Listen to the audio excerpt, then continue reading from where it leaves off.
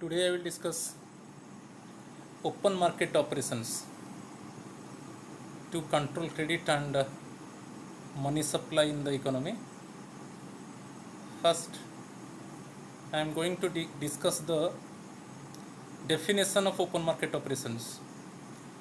It refers to the selling and buying of government securities and treasury bills in the open market by the central bank to or from the public and commercial banks of the country with a view to regulate the credit and money supply in the economy. We know that RBI is authorized to sell or purchase treasury bills and government securities. So, in case of open market operations, RBI selling government securities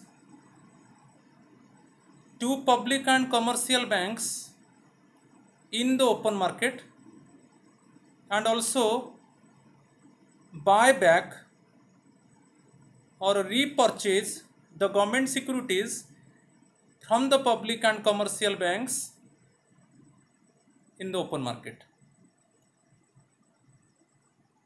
I will discuss when RBI selling government securities and treasury bills to the public and to the commercial banks in the open market and when RBI buy back securities and treasury bills from the public and commercial banks. We know that economic instability is there when inflationary and deflationary situation generated in the economy. Inflationary situation is generated in the economy due to excess demand. At the time of inflationary situation, miserable, pauper, or weaker or debilitated sections are severely affected. We know that in, in inflationary situation, price level continuously increases and consumers are adversely affected. The producers are getting benefit because due to spiraling of price, producers getting more benefit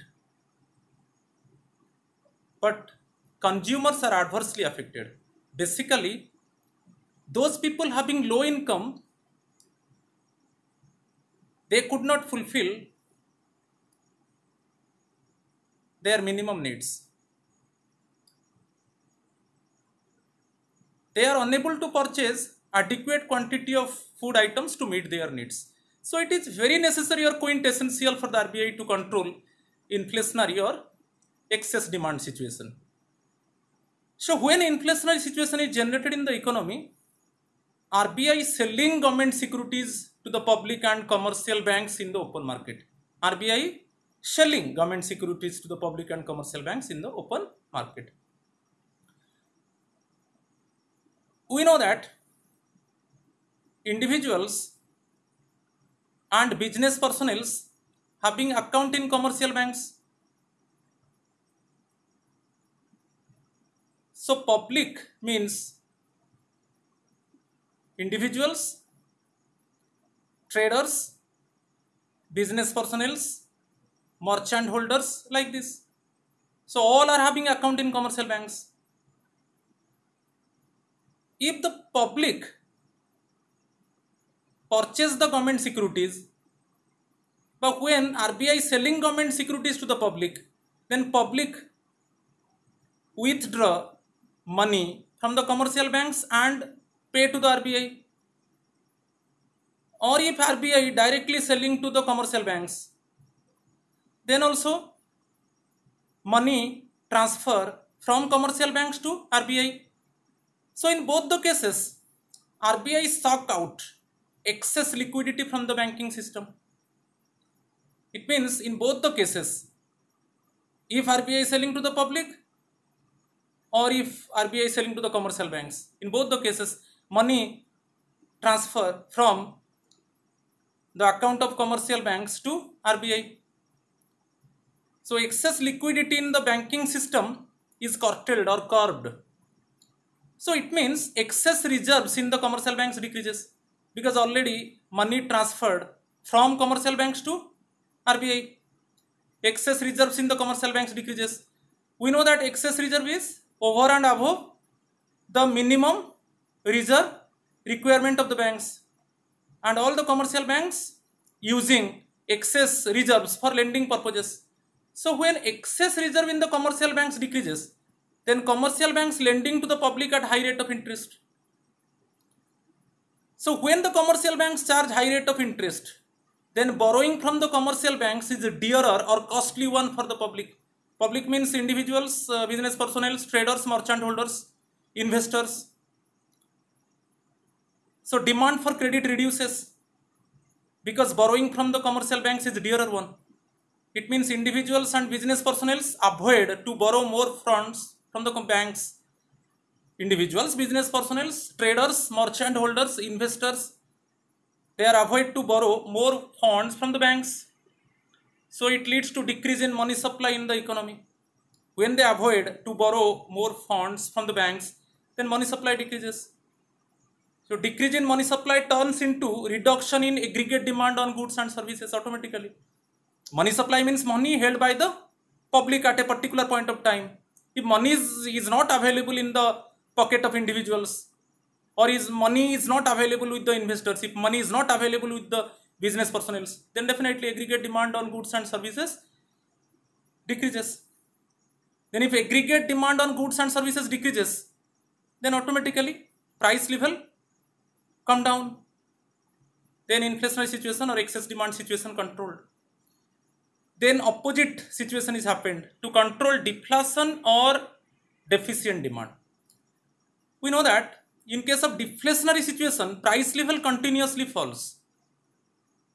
When price level continuously falls, producers facing losses. It is beneficial for the consumers. It is beneficial for us. But producers are facing losses.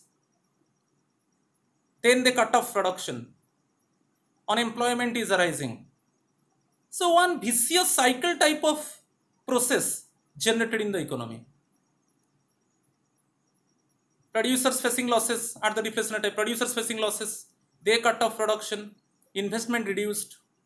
Unemployment arised in the economy. Income level of the people reduced. Then again demand on goods and services reduced. Then again uh, might means producers further reduce production. So recession type of phase. It is related to the recession type of phase. So in this case also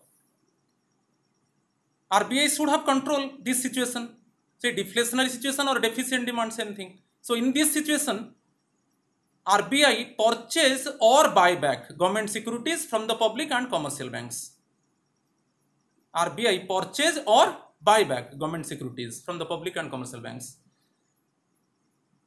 So in both the cases, if RBI purchase from the public, then RBI make payment to the public, then again public deposit the money in the commercial banks.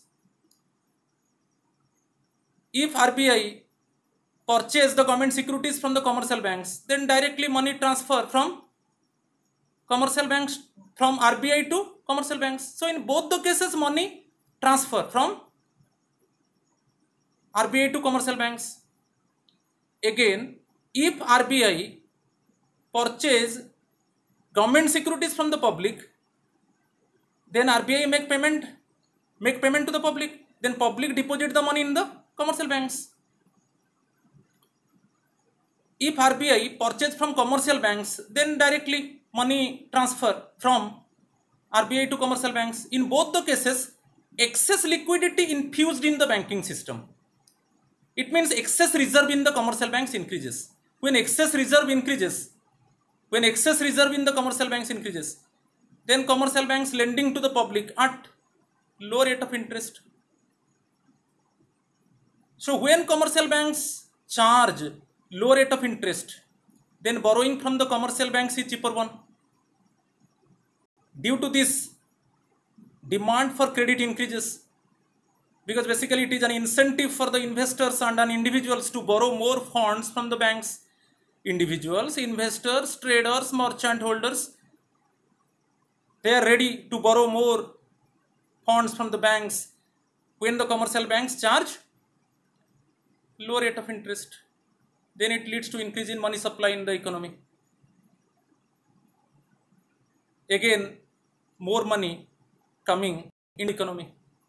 It increase in money supply leads to increase in aggregate demand on goods and services. Definitely demand on goods and services increases. So when demand on goods and services increases then price level increases. So deflationary or deficient demand situation eliminated.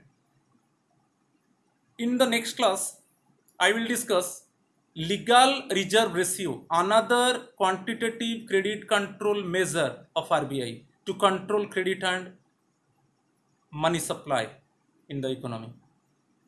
So please if you like my video then click on subscribe button. Thank you